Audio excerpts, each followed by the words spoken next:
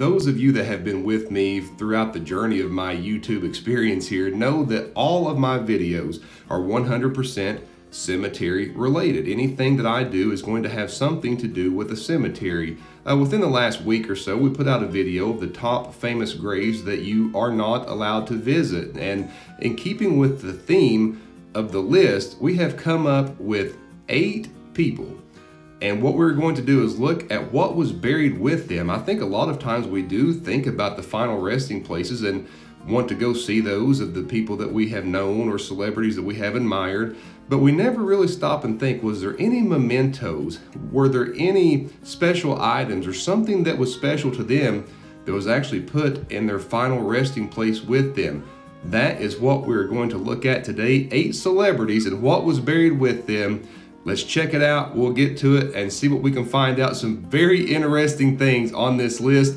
Before we get to that, if you like cemetery content, that's all I do. Please like and subscribe. I'm very interactive on this channel. I do try to respond to all the comments and I really and truly appreciate every one of you. So join us on our journeys and let's take a look at this very interesting list. First on our list is former President George H.W. Bush. President Bush is buried at the George H.W. Bush Presidential Library and Museum.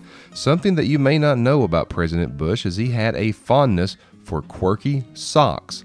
In honor of the affinity that he had for socks, he was buried in a special pair of socks that paid tribute to him and his lifetime of public service.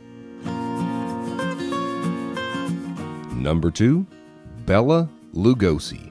Mr. Lugosi is buried in Holy Cross Cemetery in Culver City, California. He was most widely known for his role in Dracula, in which he played the title character. It may interest you to know that Mr. Lugosi was buried in full Dracula attire, including his classic Dracula cape. Number 3. Harry Houdini. Known as one of the greatest escape artists and magicians of all time, Harry Houdini is buried in Machpelah Cemetery in Ridgewood, New York. His obituaries from the time shows that he asked to be buried with $100 in small bills just in case tipping is recommended where he is going. This will bring us to the halfway point of our list with number 4, Colonel Sanders. Colonel Sanders is buried in Cave Hill Cemetery in Louisville, Kentucky. Known as the face of the restaurant in which he founded, Kentucky Fried Chicken, Colonel Sanders was known for his famous white suit. It should come as no surprise he was laid to rest in the suit. Number 5. Bob Marley. The original legend of reggae music, he delivered the genre to the mainstream, in which he championed and delivered cultural acceptance. He is laid to rest in the Bob Marley Mausoleum in Nine Mile, Jamaica. He was laid to rest with his Les Paul guitar, the Bible, and some cannabis. With three more to go, let's take a look at number six, Elizabeth Taylor.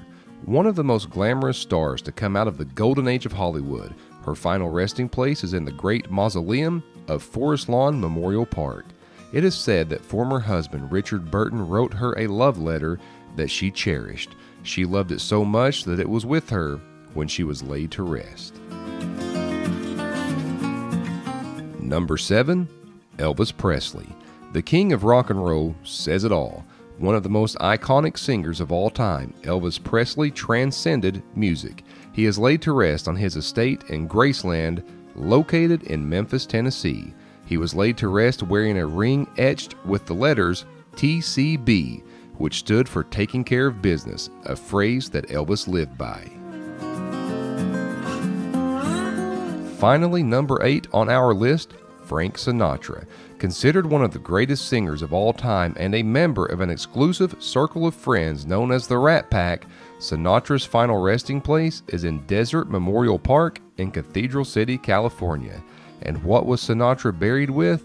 A pack of camels, a bottle of Jack, and a dollar's worth of dimes, in case he needed them for a payphone.